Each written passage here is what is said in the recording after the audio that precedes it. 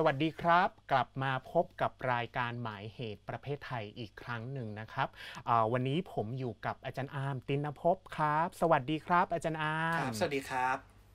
วันนี้อาจารย์อาร์มอยู่อีกฝั่งหนึ่งของซูมนะครับอ่าเราสองคนจะมาชวนท่านผู้ชมคุยนะครับ เกี่ยวกับบทความชิ้นหนึ่งนะครับ ชื่อ Pink Dot Cultural and Sexual Citizenship in Gay Singapore นะครับผู้แต่งคือคุณคริสทานนะฮะคิดว่าตอนนี้อายุประมาณ 30 30 something นะครับ ซึ่งบทความชิ้นนี้ตีพิมพ์ใน George Washington University Institute for Ethnographic Research นะฮะในปี 2015 นะครับ จริงๆ แล้วต้องบอกอาจารย์อาร์มว่าบทความชิ้นนี้ที่เราหยิบยกมาคุยกันในวันนี้มีความต่อเนื่องอในรายการหมายเหหตุประเภทไทยมาก ๆ เลยครับอาจารย์อาม เพราะว่าผมจำได้ว่าก่อนหน้านี้ผมกับปกป้องนะฮะมาชวนท่านผู้ชมพูดคุยกันเรื่องของนโยบายของรัฐของสิงคโปร์เนี่ยนะฮะที่ยึดโยงร่างกายผู้หญิงเข้ามาเป็นส่วนหนึ่งของ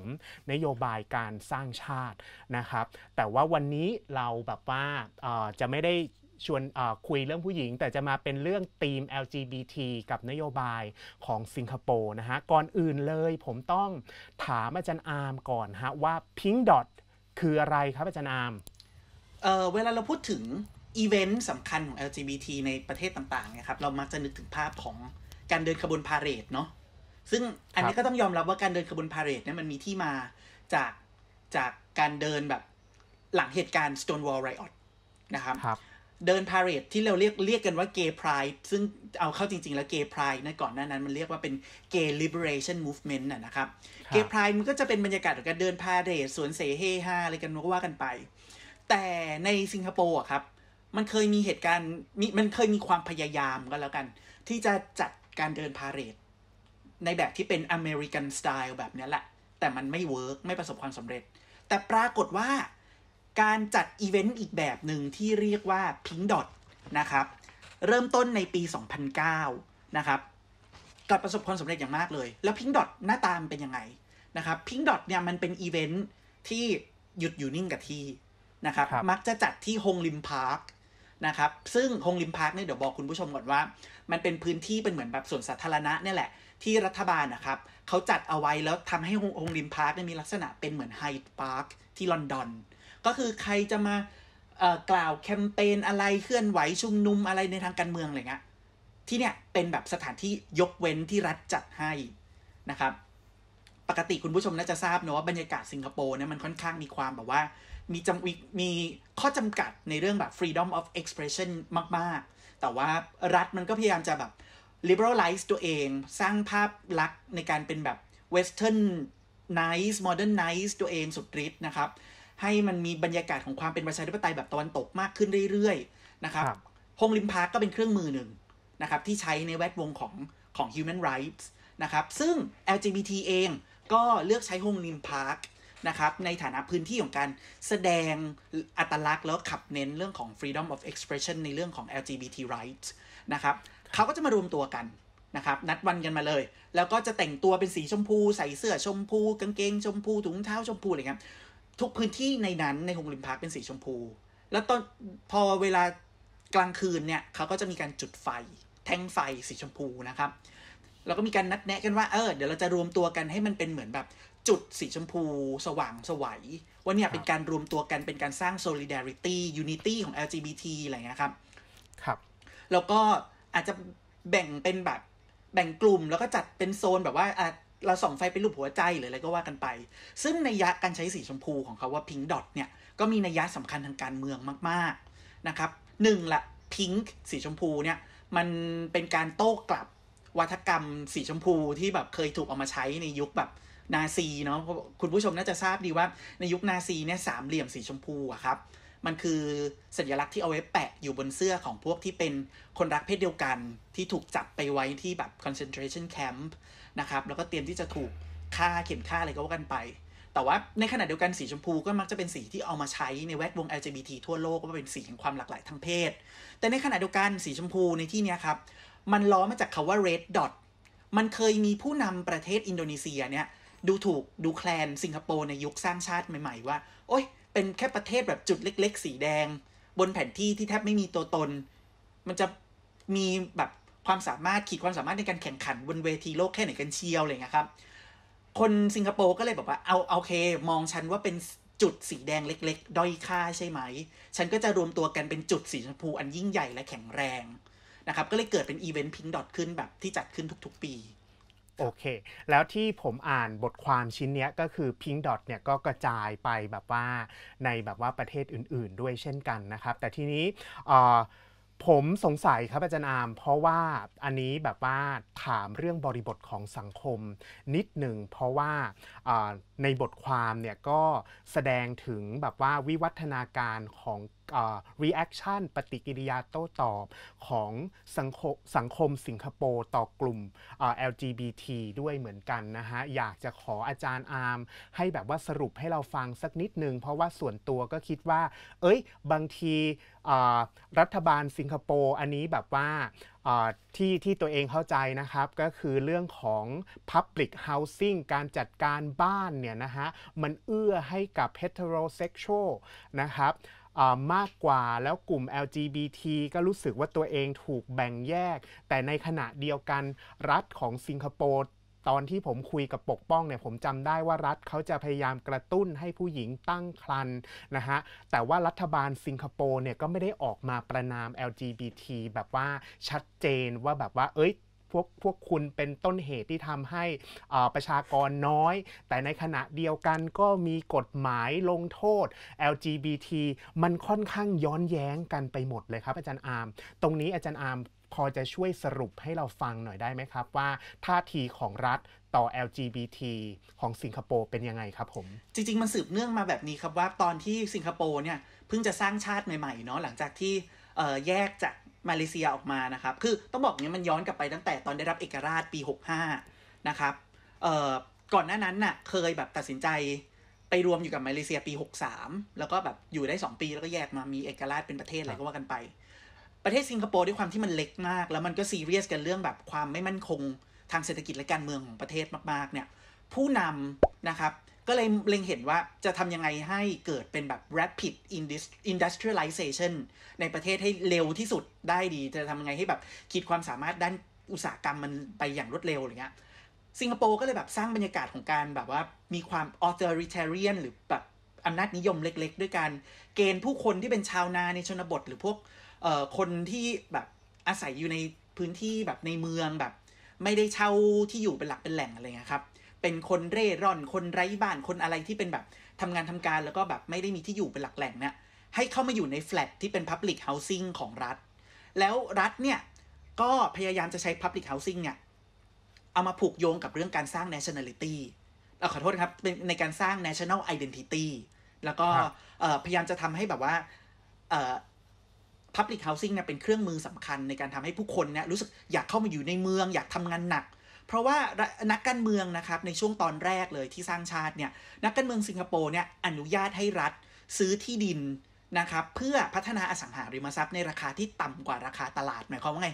รัฐก็ซื้อได้เลยถูกๆ แล้วซื้อที่ดินมาทำอะไร สร้างแฟลตสร้างแฟลตสร้างแฟลตให้ผู้คนเข้ามาอยู่อยู่ครัอบยู่อยู่พอคนมาอยู่แฟลตเขาก็ทำงานหนักได้ เพราะว่าเอ้ยฉันมีที่อยู่เป็นหลักเป็นแหล่ง แล้วฉันก็สามารถเข้าถึงแบบ Public Facility น้ำไฟอินเทอร์เน็ตนู่นนี่นั่นอะไรได้เต็มที่ นะครับชีวิตก็ดีพอประชาชนมี well-being ประชาชนก็เริ่มมี wealth มีความมั่งคั่งนะครับรัฐก็ยิ่งได้ประโยชน์เพราะว่าอ้าวเศรษฐกิจเจริญรุ่งเรืองขนาดนี้ ฉันก็ยิ่งสร้างแฟลตเข้าไปเรื่อยๆเพื่อดึงดูดคนให้เข้ามาทำงานหนักทำงานหนักเพื่อประเทศ จนในเวลาไม่นานนะครับ จากนั้นไม่กี่ทศวรรษเนี่ยผู้คนก็เริ่มหวงแหน การเป็นพลเมืองชาวชาวสิงคโปร์เพราะเขารู้สึกว่า ถ้าฉันเป็นพลเมืองฉันต้องได้เข้าถึงสิทธิ์ สวัสดิการขั้นพื้นฐานเหล่านี้โดยเฉพาะอย่างยิ่ง Public Housing แต่ปรากฏว่า Public Housing เนี่ย มันเอื้อต่อ heterosexual มาก ๆ นะครับ มันตอกย้ำขั้นนิยม heteronormativity มาก ๆ เพราะว่าคนที่จะ apply ซื้อ Public Housing เหล่านี้ได้เนี่ยคุณจะต้องมีครอบครัวมีลูกมีอะไรคือต่อให้ไม่มีลูกนะก็ต้องมีพ่อแม่มีพี่น้อง คือจะไม่ใช่เป็นแบบ gay partner มาอยู่ด้วยกันอย่างเงี้ยไม่ได้ แต่ถ้าโอเคใครครับไม่สามารถแบบมีครอบครัวแบบนั้นได้นะครับ ก็ต้องรอจากเดิมที่ใช้เกณฑ์อายุ 21 ก็ซื้อได้เนี่ยรอไปจนถึงอายุ 35 จึงจะซื้อได้ ซึ่งราคามันก็อาจจะแพงมากไปแล้วอะไรเงี้ยครับมันก็สะท้อนให้เห็นว่าเออมันเป็นนโยบายที่ไม่สนับสนุนคนคนโสดหรือคนที่มีแนวโน้มจะไม่สมาทานค่านิยมแบบครอบครัวตามหลักของจื้อเลย เพราะว่าสิงคโปร์เนี่ยโอเคครับผู้นำอย่างลีลีกวนยูมันก็จะซื้อแบบของจื้ออีซึมมากๆอย่างเงี้ยครับ ครับเดี๋ยวอาจจะต้องขอขัดจังหวะอาจารย์อาร์มตรงนี้นะฮะก่อนที่เราจะไปต่อถึงถึงแบบว่าพิงดอทที่ทำไมประสบความสำเร็จ เราอาจจะต้องขอพักเบรกตรงนี้สักนิดหนึ่งนะฮะ เดี๋ยวกลับมาในเบรกที่ 2 เราจะมาพูดถึงปัจจัยที่ทำให้พิงดอทประสบความสำเร็จครับ สักครู่ครับ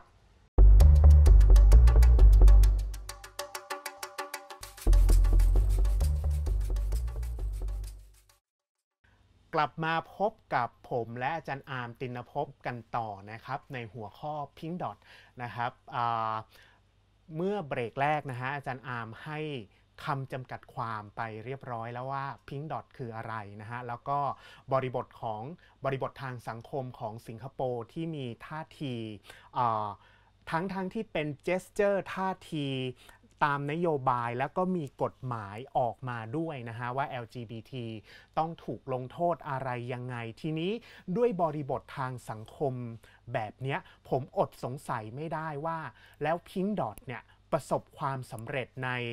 ในสิงคโปร์ได้ยังไง เพราะตอนแรกถ้าผมจำไม่ผิดเนี่ยช่วงต้นศตวรรษที่ 21 ประมาณปี 2000 ต้นๆเนี่ยนะฮะเขาจัดเกย์พาเรดกัน แล้วก็มีคน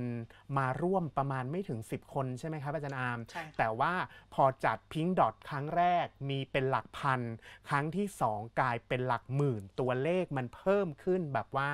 เยอะแยะมากมายเนี่ยครับปัจจัยสำคัญที่ทำให้พิงดอทประสบความสำเร็จมีอะไรบ้างครับอาจารย์อาร์มครับผม จริงๆ การพูดถึงเรื่องอความล้มเหลวของ Parade แล้วก็ความสำเร็จของ Pink Dot เนี่ยจะพูดเรื่องนี้ได้เนี่ยมันต้องย้อนกลับไปแบบ เน้นไอ้เรื่องเรื่องที่เราคุยกันเมื่อตอนต้นเบรกแรกอะมาก ๆเลยนะครับ ก็จะขอสรุปอีกครั้งหนึ่งว่าแบบการเป็น LGBT ในประเทศสิงคโปร์เนี่ยรัฐเนี่ยก็ไม่ได้ประนามหยามเหยียดอะไรนะครับ แต่รัฐก็ไม่ได้รับให้รับการยอมรับขนาดนั้น เพราะอย่าอย่าลืมว่าจนถึงวันนี้ในประเทศสิงคโปร์มันยังคงมีมาตรา 377A ที่ระบุครับว่าเอ่อการแสดงพฤติกรรมหรืออัตลักษณ์ที่เป็น homosexuality นะถือเป็นสิ่งที่ผิดกฎหมายทั้งสิ้นนะครับ จนถึงวันเนี้ยก็ยังแก้กฎหมายกันไม่ได้ เพราะดูเหมือนว่ารัฐบาลก็ไม่เอาด้วยนะครับ แล้วก็ผู้คนส่วนใหญ่ในสังคมทั้งเฮตเทโรและ ho- และคนที่เป็นผู้มีความหลากหลายทางเพศเองก็ตามเนี่ยก็ไม่ซื้อ นะครับกลายเป็นว่า majority ของประเทศยังคงยืนกรานว่า 377A เนี่ยเป็นมาตราที่จำเป็นต้องมีสำคัญ เพราะว่ามันเป็นมาตราที่สสะท้อนหรือบ่งบอก หรือว่าชี้ให้เห็นถึงความเป็นสิงคโปร์นะครับครับถ้าไปแก้ไขนู่นนี่นั่นแสดงว่าเรากำลังจะตกเป็นทาสของอเมริกาหรือเปล่า เพราะว่าการแก้ไขไอ้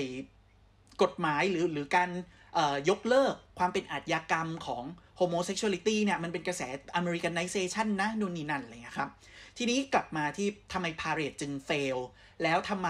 Pink Dot จึงประสบความสำเร็จจนปัถึงงทุกวันนี้ครับลองเปรียบเทียบกันแบบนี้ครับ คือผู้เขียนในคริสแทนเนี่ยพยายามจะอธิบายว่าเขาเนี่ยมีความ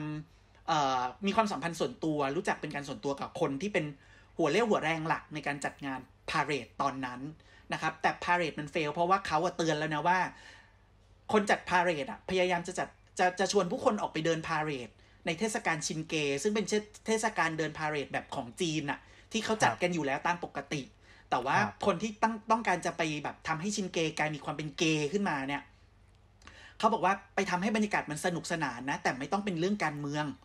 คริสแทนก็บอกว่าเฮ้ย เราปฏิเสธความเป็นการเมืองตั้งแต่ต้นแบบเนี้ยไม่ work หรอก คนไม่ in หรอก แล้วเหตุผลที่สองก็คือคริสแทนเขาบอกว่า คนที่เป็นหัวเรี่ยวหัวแรงจัดงานอะ่ะ เขาเป็นคนที่มีปฏิสัมพันธ์ไม่ค่อยดีเท่าไหร่ในแวดวง LGBT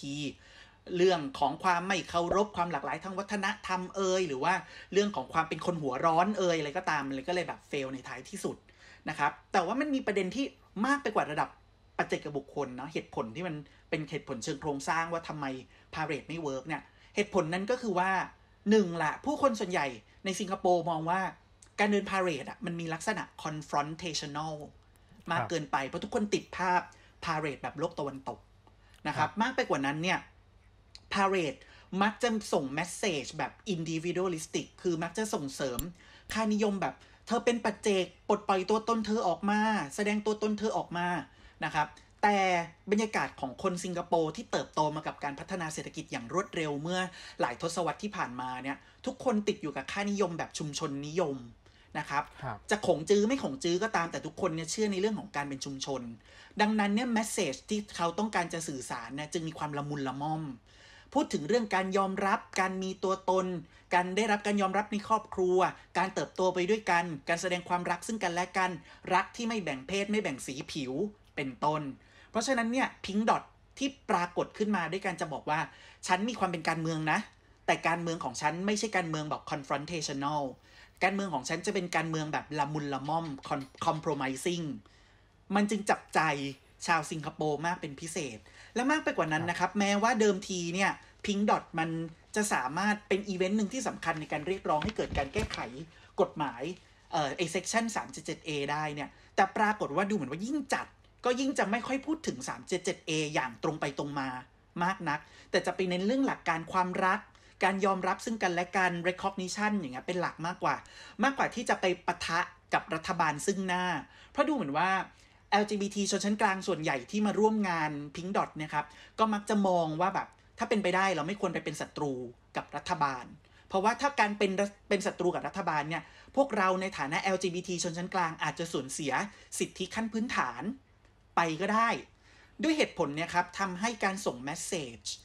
ในทางการเมืองเรื่องสิทธิ์เรื่องอะไรของ Pink Dot เนี่ย มันจึงไม่มีสิ่งที่เรียกว่า language of rights อยู่เลย หรือว่าไอสิ่งที่เรียกว่าภาษาว่าด้วยสิทธิมนุษยชนอยู่เลย แต่มันจะเป็นภาษาแบบละมุนละม่อมการยอมรับอะไรอย่างเงี้ยเนี่ยแหละเป็นเหอัตุนผนี้ลสำคัญที่ทำให้ Pink Dot ประสบความสำเร็จครับอันนี้อันนี้ถามเพิ่มเติมนิดหนึ่งเพราะว่าในบทความเนี่ยมันเหมือนกับว่าเหตุผลหนึ่งที่อีกเหตุผลหนึ่งที่แบบว่าพิงดอทประสบความสำเร็จเนี่ยคือมันไป ไปในทิศทางเดียวกันกับการแบบว่าพัฒนาชาติของของสิงคโปร์เพราะว่าช่วงช่วงช่วงเขาใช้คำว่า global คือเศรษฐกิจโลกอขอโทษที เศรษฐกิจโลกนะฮะที่แบบว่า ต้องการให้แบบว่ามีเรื่องราวของ LGBT อะไรเยอะ สิงคโปร์ก็มีท่าทีที่เปลี่ยนไปเกี่ยวกับเรื่องนี้ แล้วก็พยายามที่จะแบบว่าสร้างแพลตฟอร์มให้กับ LGBT มากขึ้นนะฮะ Pink Dot ก็เรียกว่าแบบว่ามาถูกที่ถูกเวลานะฮะ แต่ทีนี้ก็มีเเขาเรียกว่า นักทฤษฎีหลายคนทั้งฝั่งฝั่ง LGBT พวก queer theorist ต่างๆ หรือว่าอ่านักทฤษฎีเกี่ยวกับเรื่อง citizenship ไม่ว่าจะเป็นไอว่าอ่องหรือว่าอะไรที่ออกมาวิจารณ์ ไกลๆว่าคือแบบว่าคนที่ใช้ทฤษฎีของไอว่าอ่องหรือ LGBT ว่าเฮ้ยจริง ๆ แล้วแบบว่าไม่ควรจะไปสมาทานกับนโยบายของรัฐมันมีผลเสียมากกว่ามากกว่าผลดีก็คือทำให้แบบว่าเรื่องของ LGBT เนี่ยสยบยอมให้กับนโยบายเรื่องพวกนี้การพูดเรื่อง LGBT เมื่อกี้ที่อาจารย์อาร์มบอกว่าแบบว่า ที่มันแบบว่า radical ก็ถูกข้อจำกัดว่าแบบว่าเฮ้ยเรื่องนี้เป็น homo nationalism หรือเปล่าอย่างเงี้ยครับ ว่าแบบว่าอาอาจารย์อาร์มมีความคิดเห็นอย่างไรเรื่องนี้ครับผมขยายความเติมขยายความเพิ่มเติมสั้นๆ ก่อนละกันว่าครับคอนเซปต์เรื่อง homo nationalism ของ just b e e r p o o r นะครับครับมันหมายถึงการที่แบบรัฐอะแม้ว่าเดิมทีจะเป็นแบบเปล่าประกาศตัวเองว่าเป็นศัตรูกับ LGBT อะแต่ว่าณจุดหนึ่งกระแสโลกมันก็ทำให้ รัฐต่างๆนะครับ หยิบเอา homosexuality อะมาเป็นจุดขายของประเทศในนามของการพัฒนาประชาธิปไตย ในการของการวางรากฐานของเสรีนิยมในในประเทศต่างๆเนี่ยครับ ทีนี้ Pink Dot มันเป็นส่วนหนึ่งของโปรเจกต์ที่เรียกว่า Homonationalism อย่างไรนะครับ มันก็คือการที่แบบว่าสิงคโปร์พยายามจะสร้างบรรยากาศ gay friendly ขึ้นมา โดยใช้ Pink Dot เป็นเครื่องมือ นะครับคือต้องเข้าใจก่อนว่า Pink Dot มันเกิดจากจากภาคประชาสังคมก็จริง แต่ปฏิเสธไม่เลยว่าไปไม่ได้เลยว่า รัฐเองก็มีส่วนร่วมอย่างมากต่อการทำให้ Pink Dot ประสบความสำเร็จในตอนแรก และยังคงปรากฏอยู่ได้ทุกปีจนถึงปัจจุบันนะครับก็เป็นเหมือนแบบความสัมพันธ์อันดีระหว่างรัฐกับภาคประชาสังคมนี่แหละ ที่ช่วยกันก่อร่างสร้างพิงดอทให้กลายมาเป็น national identity บนเวทีโลกขึ้นมา ของสิงคโปร์แล้วก็กลายเป็นต้นแบบ เรื่องการจัดการชุมนุมแบบไม่ confrontation ไม่ไม่ confrontational แบบเนี้ยครับ ทีนี้มันเป็น homo nationalism ก็ตรงที่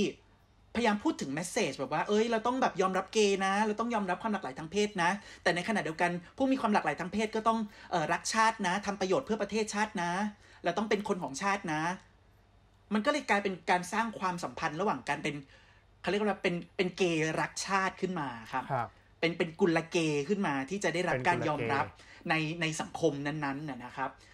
ดังนั้นเนี่ยหลายคนก็เลยมองว่าอ้าวถ้าคุณยิ่งสมาทานพิงดอทคุณก็ยิ่งสมาทานค่านิยมแบบแบบรัฐนะสิที่รัฐพยายามจะแบบว่าชี้นิ้วสั่งอะไรคุณก็เป็นไปตามนั้น แล้วคุณเลือกที่จะไม่เผชิญหน้า เพื่อเรียกร้องข้อเรียกร้องของคุณเลย แต่คุณเลือกที่จะพินอบพิเทาแล้วก็ร้องขอรัฐไปเรื่อยๆ และดูเหมือนว่า LGBT ชนชั้นกลางส่วนใหญ่ในสิงคโปร์ตอนเนี้ยก็เหมือนจะมี mentality หรือความคิดแบบเดียวกันก็คือว่า ตราบใดที่พวกเขายังมีชีวิตที่ผาสุกมี well being ขั้นพื้นฐานอยู่ เขาก็ยินดียอมแลกกับ rights บางอย่าง เช่น same sex marriage หรือว่า freedom of expression นะครับ เพราะคนพวกนี้ยังมองว่าสุดท้ายแล้วอะเขาไม่สามารถยอมสูญเสีย citizenship ไปได้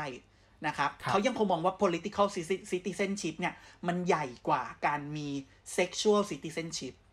ครับขอบคุณมาก ๆ เลยครับอาจารย์อาร์มเป็นแบบว่าหัวข้อที่น่าสนใจมาก ผมคิดว่าแบบว่าเรายังคุยเรื่อง Pink Dot เนี่ยได้จากอีกหลากหลายแง่มุมนะฮะน่าเสียดายจริง ๆ วันนี้ที่เเรามีเวลาอันจำจำกัดนะฮะวันนี้ผมต้องขอบคุณอาจารย์อาร์มตินภพมาก ๆ เลยนะครับที่มาแลกเปลี่ยนนะครับความคิดเห็นในประเด็นนี้นะครับแล้วก็ต้องบอกว่าบทความนี้เป็นบทความที่น่าสนใจถ้าท่านผู้ชมสนใจนะฮะไปหามาอ่านแล้วเอามามาถกเถียงพูดคุยกับพวกเราสองคนได้นะฮะ วันนี้ผมกับอาจารย์อาร์มต้องลาไปก่อนนะฮะ แล้วพบกับรายการหมายเหตุประเภทไทยได้ทุกคืนวันอาทิตย์ สวัสดีครับ สวัสดีครับ